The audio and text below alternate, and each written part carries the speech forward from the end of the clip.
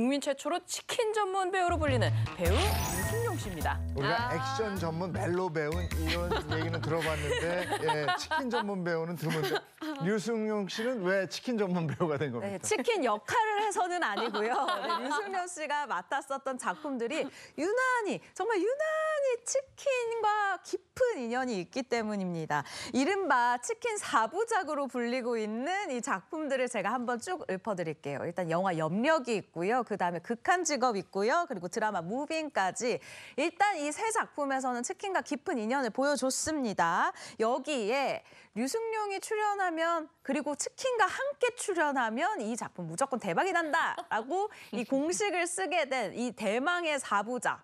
이번에 올해 공개될 드라마 닭강정. 아, 이 제목도 닭강정이죠. 이 닭강정까지 무려 네 번째 이 치킨과 끈끈한 인연을 이어오고 있습니다. 네, 류승룡 씨와 치킨의 인연이 흥미로운데 이 정도면 뭐 전생을 좀 의심해봐야 되는 게 아닌가 싶기도 하고요. 류승룡 씨와 닭의 전생의 관계까지 모르겠지만 사실 제가 지난해 부산 영화제에서 만났을 때 물어봤어요. 어떻게 하다가 이렇게 치킨과 이렇게 깊은 인연을 닭 중에서도 치킨과 갖게 된 것 같냐 했더니 이제 무빙 때 얘기를 하더라고요. 사실 이제 무빙 제작진도 그 전 최 기자가 얘기한 그 극한 직업이 잘 되다 보니까 혹시 이제 같은 직업을 하면은 이렇게 흥행이 좀 잘 될까 극한 직업처럼 이런 마음이 있었던 것 같고 본인은 또 그러나 다 현실적으로 따져봤대요. 그랬더니 많은 분들이 뭐 이렇게 은퇴하시거나 이렇게 생, 됐을 때 좀 치킨집을 음. 개업하시잖아요. 현실적으로 말이 된다 이런 생각이 들어서 확률적으로 없는 일이 아니라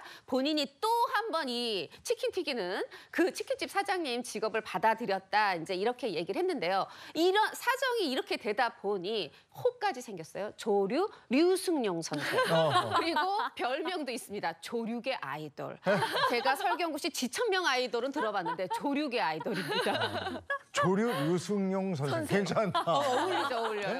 그러면 그 첫 번째 인연부터 한번 짚어볼까요? 네, 류승룡 씨와 치킨이 이 때려야 뗄 수 없는 인연의 시작 바로 언급해드린 것처럼 영화 염력이 시작이었습니다. 이 영화 염력에서요, 류승룡 씨는 딸이 운영하는 치킨집에서 서빙을 한 아빠 역할이었어요. 이 본격적으로 치킨과 이 손을 딱 잡기 시작한 건데 영화 염력은요 평범한 소시민이었던 가장에게 갑자기 초능력이 생기면서 벌어지는 일을 그린 작품이죠. 극중 류승룡 씨 이 염력을 사용해서 맥주를 서빙하는 장면 이런 장면 등이 굉장히 내리에 남는 명장면으로 또 남아있기도 합니다. 네, 그리고 치킨 사부작 중에 두 번째 작품이죠.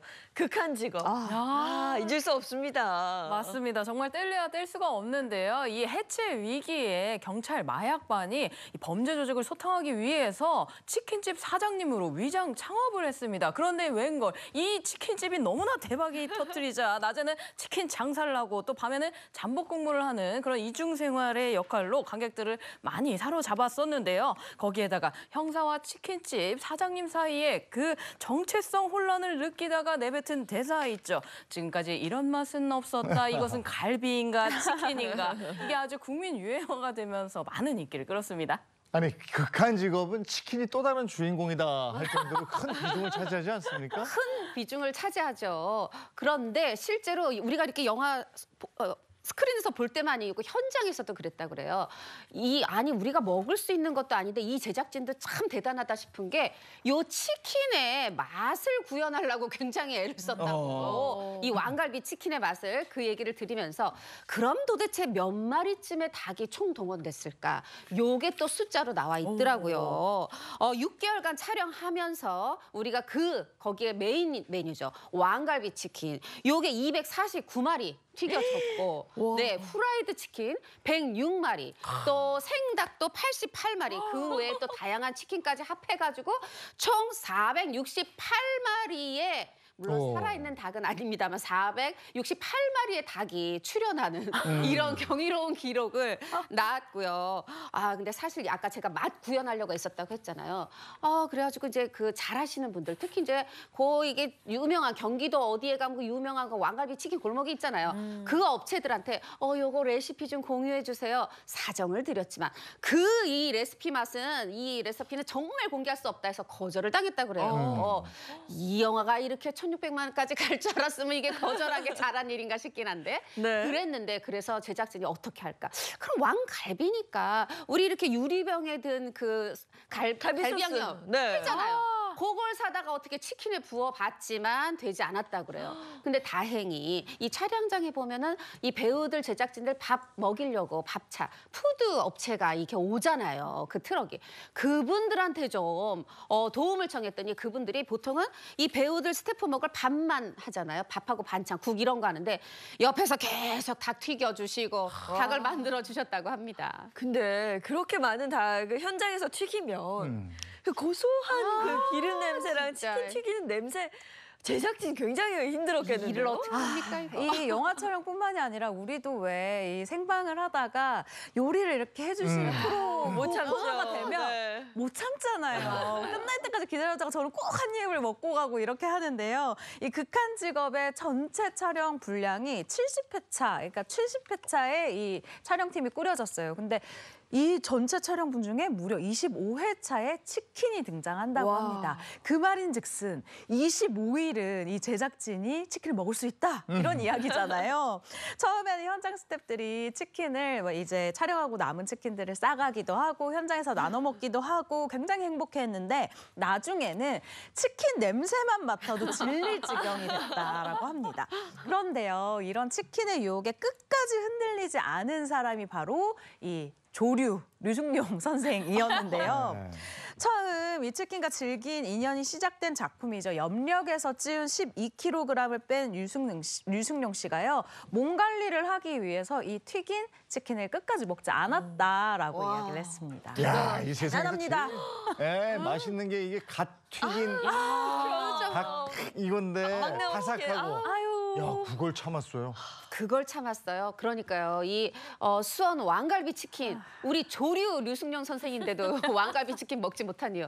방금 최 기자가 얘기한 것처럼 염력에서 쪘던 12kg을 빼고 지금 그래 살 관리를 해야 되는 때라서 못 먹었는데 만약에요 정말 끝까지 단 한 조각도 먹지 않았다 어머 그러면 저 류승룡 씨랑 친구 안 할래요 음. 저희 동갑이거든요 근데 그래도 인간적으로 양념이 좀 더 살이 찌겠지 양념 안 된 부위 어. 요걸 먹거나 아니야 아니야 요거도 안 되겠다 싶을 땐 너희들은 닭을 먹어라 나는 달걀을 먹겠다 어. 이러고 현장에서 달걀을 먹었다네요 야, 근데 영화 극한 직업이 이게 1,600만이 넘었죠.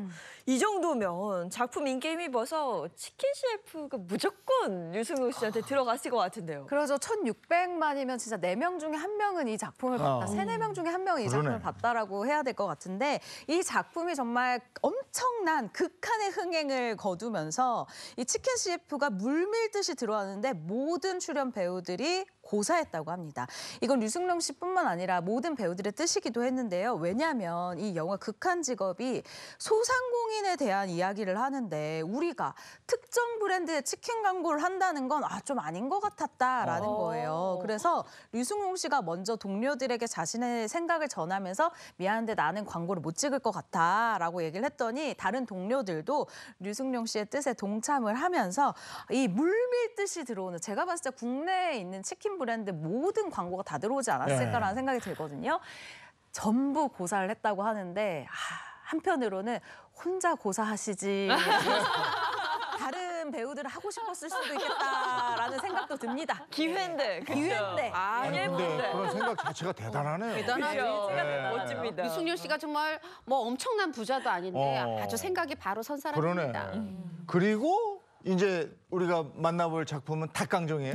닭강정입니다. 어. 조류 류승 류승룡 선생의 네 번째 치킨작. 어, 이런 말도 나오는 네 번째 치킨작. 이게 사실은 제가 왜 네 번째 치킨작이라고 하냐면 네 번째로 끝나지 않을 것 같아요. 어. 그래서 치킨 사부작이라고 안 하고 네 번째 치킨작이라고 했는데 이 닭강정은 10부작짜리 드라마입니다. 근데 내용을 들어보세요. 너무 신선해요. 딸이 의문의 기계에 들어간 뒤에 민나야. 닭강정으로 변했어요. 네? 내 딸을 찾아라. 닭강정이 된 내 딸을. 찾아라. 열심히 고군분투 하는 안 되잖아. 그 류승룡의 됩니까, 모습을 지금? 아버지 류승룡의 모습을 그리는 정말 내용만 들어도 너무 신선하죠. 네. 이 신선한 드라마라서 저도 무척 기대가 됩니다. 네, 치킨에 이어서 이번엔 닭강정입니다. 네. 제가 저 예고편 보고 정말 깔깔 웃었던 기억이 나요. 굉장히 신선한데. 그럼 이게 좀 궁금해지네요. 류승룡 씨 에게 치킨이란? 뭐 이런 질문 받은 적 있을까요? 그렇죠. 류승룡 씨가 최근에 한 프로그램에 출연을 해서 나에게 치킨이란? 이라는 질문을 받았습니다. 그랬더니 류승룡 씨가 아주 솔직한 대답을 내놨는데요. 생계를 책임져주는 머니푸드, 감사한 푸드라고 아주 또 재치 있는 대답을 내놨습니다. 예.